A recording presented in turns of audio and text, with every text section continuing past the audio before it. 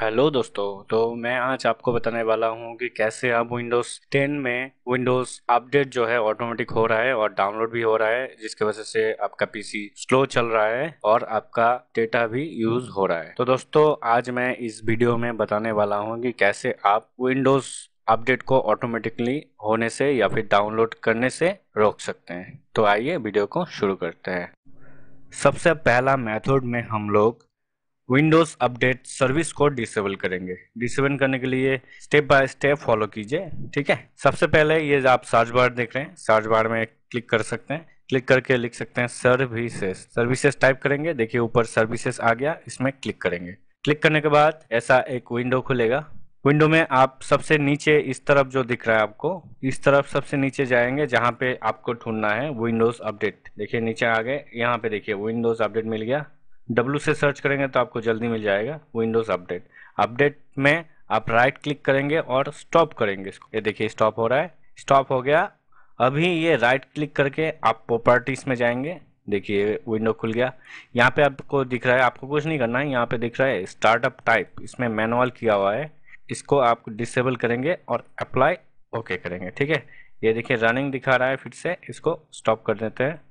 अभी ये चालू नहीं होगा रिस्टार्ट नहीं होगा। देखिए डिसेबल्ड हो गया। ये हो गया पहला मेथड सेकेंड मेथड में हम ग्रुप पॉलिसी एडिटर यूज़ करके विंडोज़ 10 का ऑटोमेटिक अपडेट को डिसेबल करेंगे। उसके लिए सेम प्रोसेस है। आप सर्च बार में जाएँगे। यहाँ पे लिखेंगे जी पी एडिट देखिए जी पी एडिट लिख दिए। ऊपर देख रहा है आपको एडिट ग्रुप पॉलिसी में आप क्लिक करेंगे। देखिए, यहाँ पे एक विंडो खुल गया। इसको थोड़ा लंबा करेंगे ताकि सब दिखाई दे। यहाँ पे आपको जाना है कंप्यूटर कॉन्फ़िगरेशन में। इसके बाद आपको जाना है एडमिनिस्ट्रेटिव टेम्पलेट्स में। देखिए यहाँ पे है, इसको क्लिक करेंगे। यहाँ पे देखिए सब आ गया। यहाँ पे आपको जाना है विंडोज़ कंपोनेंट में। ये देखिए आ गया। यहाँ पे आपको साइड में आपको सर्च करना है विंडोज़ अपडेट। नीचे जाएँगे, देखिए विंडोज़ अपडेट। विंडोज़ अपडेट में डबल क्लिक करेंगे। ये एक ऑप्शन आ गया।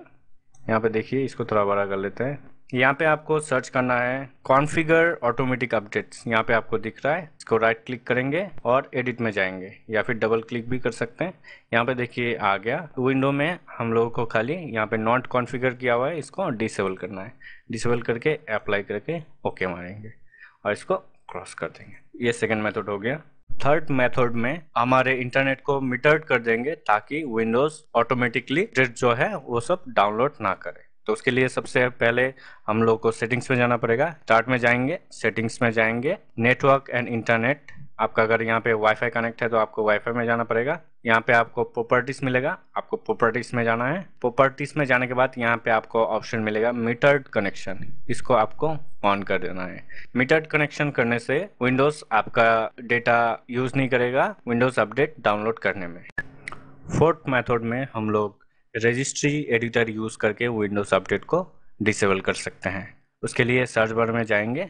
सर्च बार में लिखेंगे regedit R E G E D I T regedit देखिए यहाँ पे रजिस्ट्री एडिटर आ गया। रजिस्ट्री एडिटर में आपको डबल क्लिक करना है और देखिए परमिशन मांग रहा है, इसको येस कर देना है। यहाँ पे देखिए बहुत सारा ऑप्शन आपको यहाँ पे दिखाई देगा।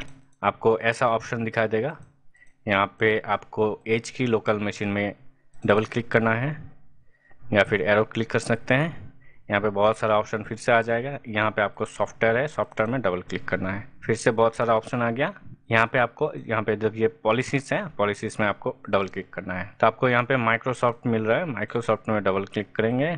और यहाँ पे आपको अगर विंडोज़ अपडेट मिल रहा है तो विंडोज़ अपडेट सिलेक्ट करेंगे। अगर नहीं है, मेरे जैसा यहाँ पे नहीं है तो माइक्रोसॉफ्ट में आप राइट क्लिक करेंगे न्यू में जाएँगे और नया की बनाएँगे। की में क्लिक करेंगे, देखिए ऑप्शन आ गया। इसमें आप रीनेम करेंगे इसको विंडोज़ अपडेट करके। मैं जैसा लिख दिया, वैसा लिखेंगे विंडोज़ अपडेट विंडोज़ अपडेट हो गया साइड में क्लिक करेंगे और विंडोज़ अपडेट में फिर से राइट क्लिक करके न्यू में जाके फिर से की क्लिक करेंगे। यहाँ पे नया की बनाएँगे, जिसका नाम देंगे ए यू देखिए, ये लिख दिया मैं साइड में क्लिक करेंगे तो ये आ जाएगा। इसके बाद प्रोसेस है कि ए यू में आपको राइट क्लिक करना है न्यू में जाना है और देखिए यहाँ पे D word thirty two bit लिखा हुआ है, इसमें आपको क्लिक करना है। इसको नया नाम देंगे ए यू ऑप्शन ऑप्शन देके एंटर करेंगे, इसमें डबल क्लिक करेंगे और इसका वैल्यू जो है यहाँ पे ज़ीरो दिख रहा है, इसको आप टू करेंगे और ओके okay करेंगे। और इस रजिस्ट्री एडिटर को आप क्लोज करेंगे और एक बार पीसी को आप रिस्टार्ट करेंगे। रिस्टार्ट करते ही आपका PC